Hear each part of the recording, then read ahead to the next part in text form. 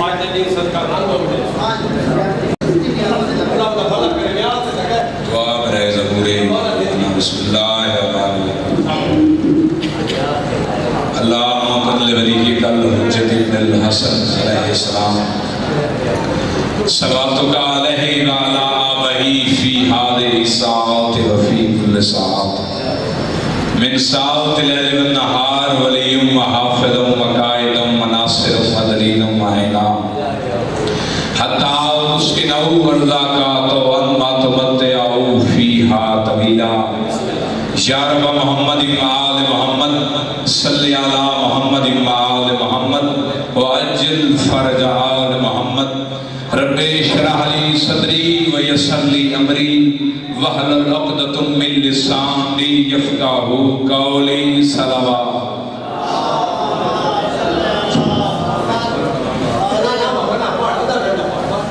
نعرہ تکبیر.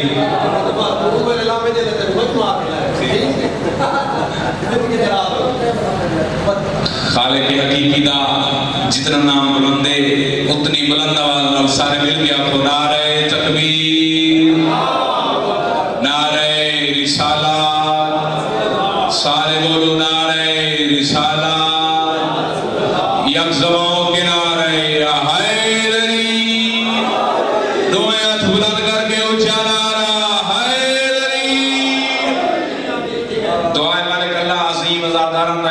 عظیم مقدس بارگاہ تو قبول فرما۔ جو بے اولاد ان اولاد نرینہ عطا فرما۔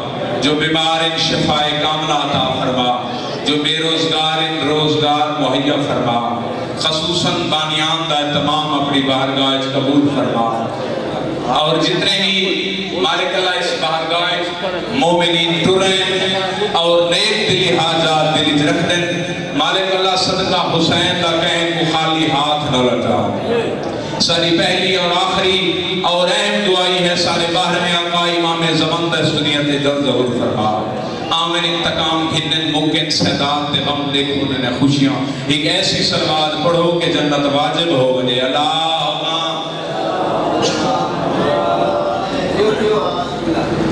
میں کوئی ذاکری دعویٰ گین کے حاضر نہ تھیا۔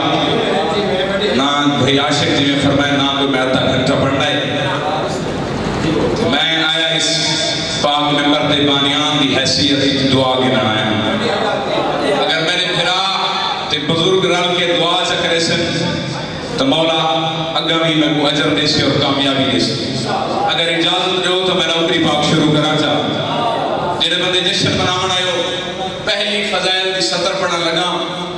جنہ بندیاں کو لفظہ نال پیارے پہلی فضائل دی سطر انہیں بعد میں کو پتہ لگ سی میں کو کتنا پڑھنا چاہیے تھے کیا پڑھنا چاہیے۔ پہلی بار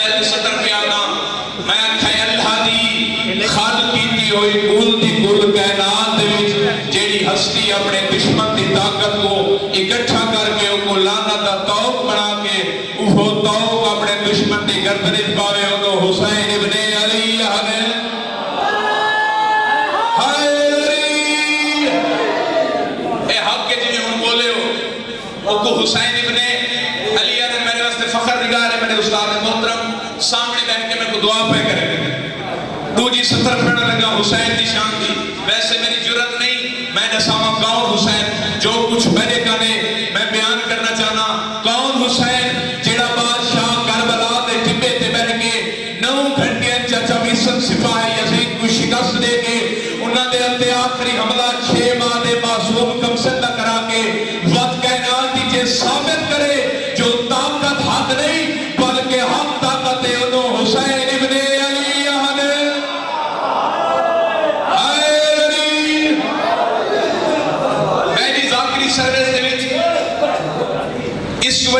وڈی سفر میرے گھر کوئی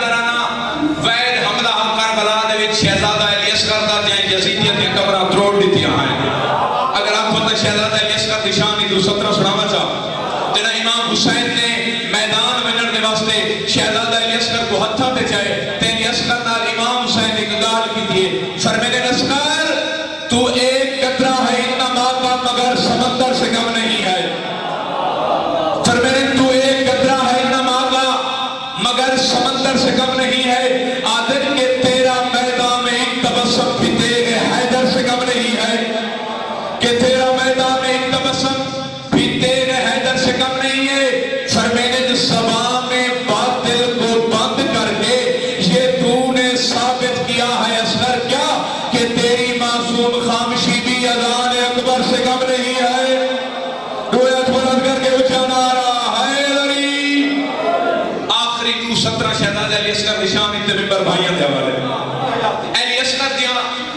صفتہ ہی جنہیں علی اسکر کر ہیں کائنات دے وچ جتنے امام، اولیاء، نبی، گزرے نو کہیں کبھی کوئی نہیں۔ اور سمجھدار مجمع بیٹھا ہے، امت چھ مہینے لیے، تے او صفت کہڑی ہیں جڑے امامہ کبھی کوئی نہیں، تے نبیاں کبھی کوئی نہیں او صفت رسانا چاہنا جرت کا انوکھا ہی علمدار ہے اسکر کیوں؟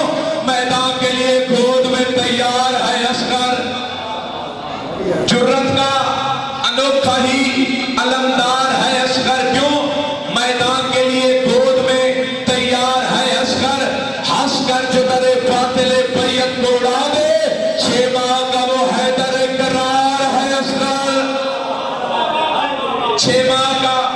حیدر کرار ہے اشکر گہوارے میں ایک پھول محمد کے چمن کا